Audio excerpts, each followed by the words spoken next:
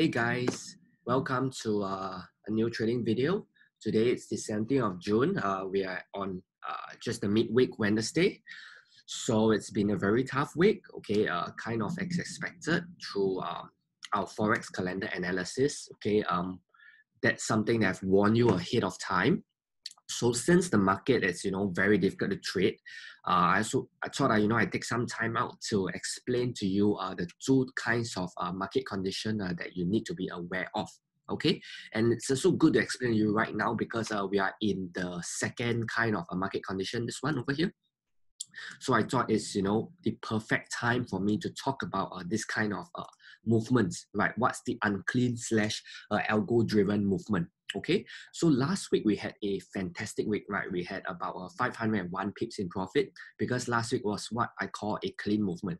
Okay, so in this video, I'm going to talk about the two kinds of uh, market condition. Then I'm going to uh, you know explain to you why uh, you ideally want to trade the first one. Okay, uh, you you you will see why in just a moment time why uh, the big money is made in the clean movements and how it's so much easier Okay, so let's talk about the first kind of movement. The first kind of movement movement is called a clean movement. Okay, what's a clean movement? A clean movement is something very simple, like um, you have a very uh, structured market where you know price breaks out of a level retest and uh, you know, let me just show you an example over here. So this kind of market is actually uh, this kind of market is actually uh, a clean movement.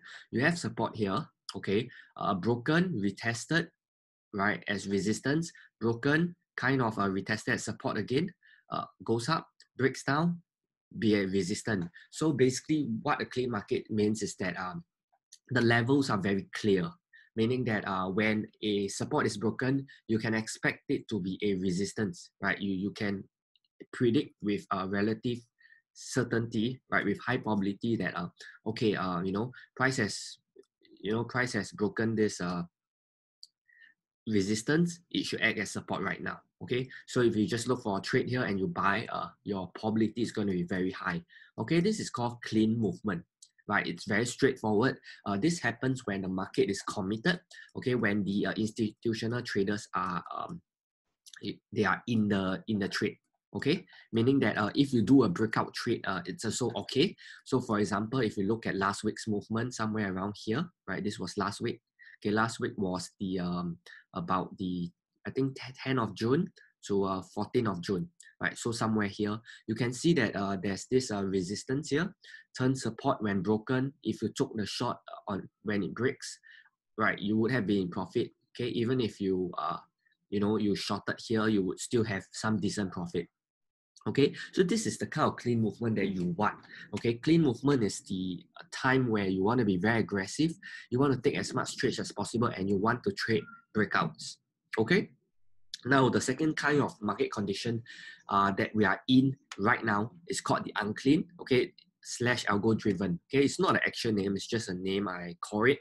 Okay, it's algo driven because levels are not respected, meaning that uh, price has a tendency to uh, let me show you first. Okay, you can see that this was previous resistance, right? What did price do? It closed above, whip a lot of people out, right? You have a you have a fake out here, and then it starts selling down, right? So in a unclean slash algo driven movement, uh, levels are not respected. Okay, so if you are looking at horizontal levels, uh, it's very difficult to trade, right? Especially if you trade breakouts, uh, it's, it's a, a big no-no. Okay, you don't want to be trading breakouts. So what's interesting about this kind of market condition is that uh, because it's algo driven, right? Uh, sorry, let me, somehow I cannot click my, uh, this weird. Okay.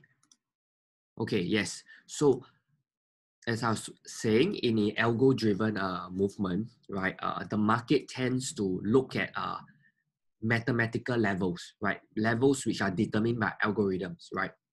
So in this case, you can see over here that price are respected the 0.618 very nicely. Okay, so in this kind of environment uh, where you have high impact news, you have conferences, uh, most of the time is this kind of a market condition where it's unclean, right? Levels are horizontal levels are not respected, and uh, a lot of the levels are found by using uh, mathematical uh, levels, right? Like uh, Fibonacci. Okay, if you are new to our channel or you're new to trading and you don't know how to use the Fibonacci tool, uh, I have another video, so make sure you check that video out.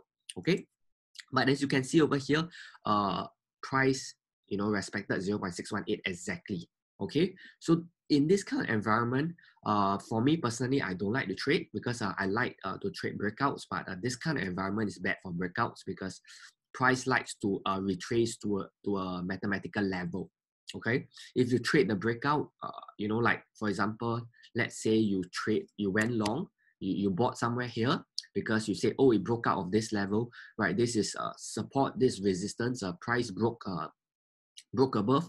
And then after that you know you retested with this kind of like uh, doji and you go long here uh, you will have lost money okay? So that's why uh, i don't like to do break i don't like this kind of uh, environment because uh, i myself i'm a momentum trader right? So there's no momentum if there's no breakout, okay? So if there's a fake out, I'm going to lose money, okay? So let me show you more examples because uh, I think this market, there's a lot of examples like this, okay? So this is uh, Euro Pound, okay? So same thing.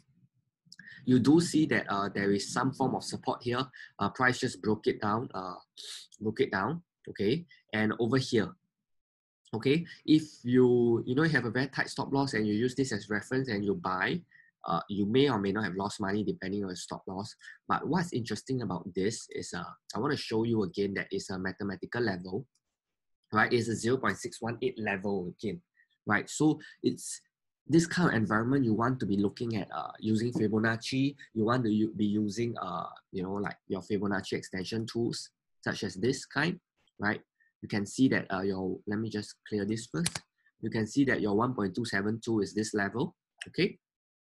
So another thing to note about this kind of, uh, this kind of scenario is that uh, if you wait for candle confirmation to buy, uh, chances are you are really too late because uh, this kind of market condition, right, the range is very narrow, okay? So for you to make a money off trending, uh, let me just draw it out and let me explain it in a clearer manner. Okay, for you to make money uh, trading a like breakout, right, uh, there must be a big movement, right? So for example, if uh, there's a 100 pips movement and uh, you called it, if this is 100 pips movement, uh, maybe you enter by the time uh, 20 pips has gone, right? And by the time you close, right, because you are looking for uh, where to take profit, uh, you minus 20, you minus 20, you probably have a profit, potential profit of 60 pips, okay? But what happens in a range like this where the, you know, the, the, the trend, right, it's very narrow. Maybe you only have 50 pips, right? 50 pips. And by the time you enter upon confirmation, it's 20 pips gone. And by the time you take profit, because as price comes down, you take profit, right? You are left with only 10 pips, right? 50 minus 20 minus 20 is 10 pips, okay? So this is the reason why in this kind of market, uh, if you want to trade, okay, uh, ideally you just trade off the level directly, right? You identify the level beforehand and you just put a limit order there. Okay, that's the best way to do it. Because if you wait for confirmation, let's say you enter somewhere here, right? Your stop loss, let me show you your stop loss is going to be very wide. Okay, you put something like this, right? And this is a range, right? So your stop, your take profit even is going to be very it's going to be very tight. And you expect this to range so it's not going to be an easy movement up either okay? So if you draw the uh, Fibonacci downwards and let's say uh, let me it's a bit messy okay? Let's say uh, 0.618 this is another important level right? Because this is the math mathematical level. Then you are setting up yourself for failure because you see your risk to reward is terrible okay? But if you had just you know put in your entry over here somewhere here and you know you just put something like that your risk to reward would be so much better right? So in this kind of scenario you want to be trading uh, limit orders okay? It's not something that i prefer okay? So this is how you do it okay in this kind of scenario. And let me see if i can find you uh, one more example okay just to uh, drive home the point. Okay so same thing for this okay uh, notice this hair over here, this uh, lower tail here, okay? Now, if you have shorted this on a lower time frame, right, saying that, okay, this is support, right? Let me, let me draw it for you. Okay, you say, uh, you say that, um, okay, this is support, this is resistance, this is support. Oh, in the lower time frame, maybe H1, you say, oh, this level is broken and you short it down. Looks what happened immediately. You have a very big bullish bar right? Immediately you have been stopped out, right? In less than an hour, you would have lost money, right? Because you are not in a clean environment. You are in an environment where uh, your horizontal levels are not respected. Okay, so this is, I think, of all the examples, this is one of the best examples to, to show you, right? To show you that uh, this is unclean, right? Where price doesn't reflect the, doesn't uh, respect the horizontal level, but in, instead goes to the uh, mathematical level, which is uh, 0.786, okay? So you can see that it hits the 0.786 precisely, right? Precisely, almost to the pip, right? The level is 1.7393 and the low here, it's uh, 1.73879. That's just like a six pips difference.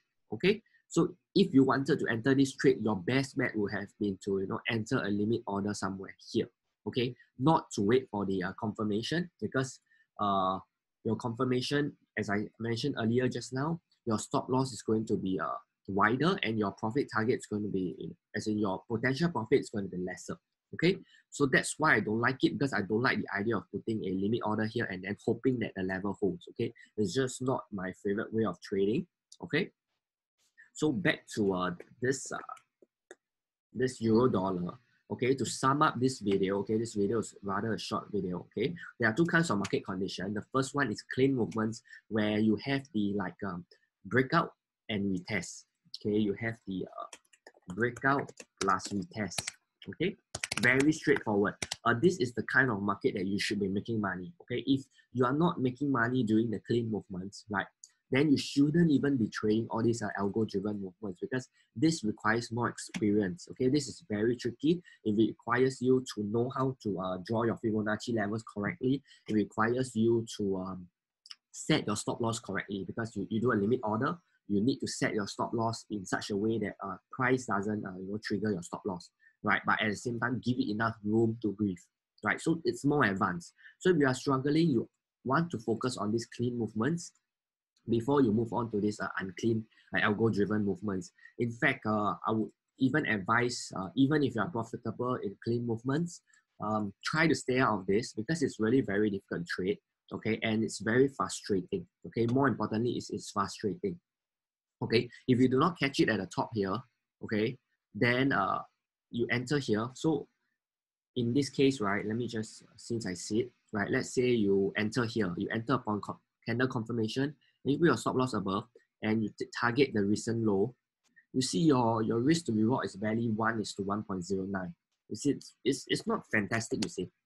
But if you had just entered a, you know, a limit order directly here and you control your stop loss and maybe you put a stop loss of uh, about maybe, I don't know, something like that, maybe 30 pips, and you target the recent low, you see the difference in your risk to reward. You, you see how this sets you up for success, right? With a risk to reward of 1 to 3, uh, you can be wrong seven times, right? Out of 10 times, you can be wrong seven times and you can still make money, right?